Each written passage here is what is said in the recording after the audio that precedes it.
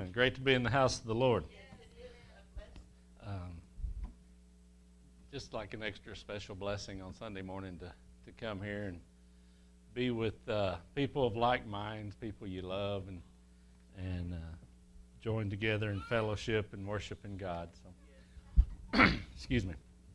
This morning, I want to read a couple verses out of Hebrews, um, chapter 12, uh, verses 3 and 4. It says, For consider him, who him being Jesus, who endured such hostility from sinners against himself, lest you become weary and discouraged in your souls. You have not yet resisted to bloodshed, striving against sin. Um, the New International Version says, You have not shed your own blood to resist sin. Um, we know that Jesus came to this earth as a baby, and he grew and he lived, and uh, he was perfect. And whenever he died, he was perfect. And that's the only way that we can have forgiveness of sins. Um, he was, you know, before Jesus' time, they, uh, they offered sacrifices of sheep and goats and calves and doves. And uh, Jesus' blood was was much better than any of that blood to, uh, to forgive us of our sins. And we can't forgive ourselves of our sins. You know, we're born into this world as a baby, and we're born into a world of sin. I mean, it's already there. As soon as we get old enough to learn how to misbehave, how to reject, we start doing it. I mean, we do it right away. And uh, we are continually living in a world of sin. And uh, once we've sinned, our blood is not good enough.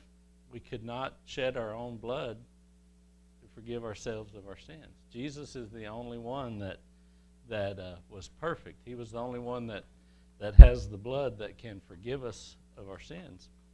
And it's not only uh, the sins that we're committing now that we ask for forgiveness for. Whenever we are called, whenever we are chosen by God, and we uh, allow Him to come into our hearts and we follow Him, all our sins are forgiven. I mean, that's sins from the, our past, and that's sins from our future. Um, you know, we're, we, we are human, you know, and, and the Bible says that we're going to make mistakes. We are going to sin. We're going to struggle with it. But it don't mean that we go out there and sin on purpose. It means that we strive to be like Jesus. We strive to be perfect. We strive not to sin.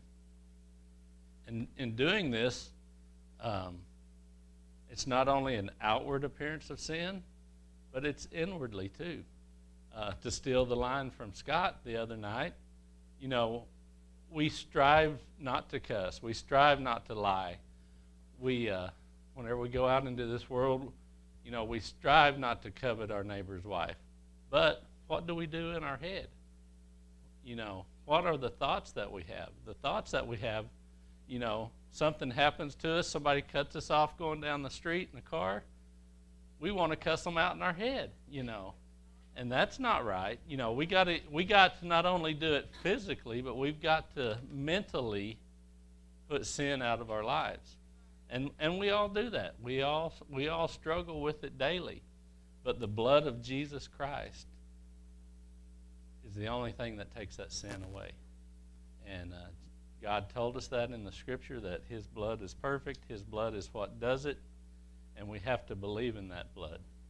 So, whenever you are, uh, whenever you're called, whenever you are allowing to God, allowing God to be in your life, and you are out in this world proclaiming His word, and you are uh, telling people about Christ, remember to tell them that it was Christ's blood makes them free.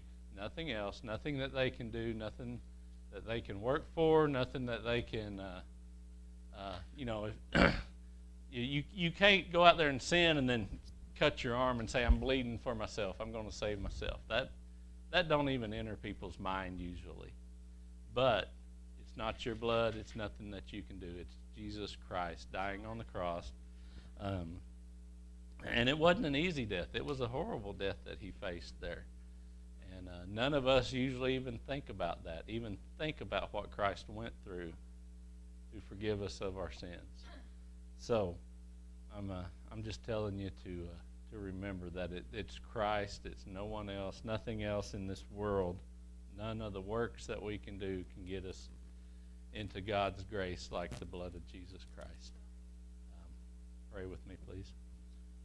Lord, we thank you for today, and we thank you for the uh, the many blessings that you give us, and we thank you so dearly, and thank you so much for for sending Jesus to this earth, Lord, sending him here as a baby to grow, to uh, be raised, to uh, to be the perfect sacrifice for you, for for us, Lord, that uh, we may be able to spend etern- eternity with you and uh, just be with us and help us and guide us as we go through these hours of worship, these hours of study, that uh, your word will be proclaimed, Lord, that, that you will be here amongst us, that, uh, that Jesus Christ will be, uh, will be glorified. In Christ's name we pray.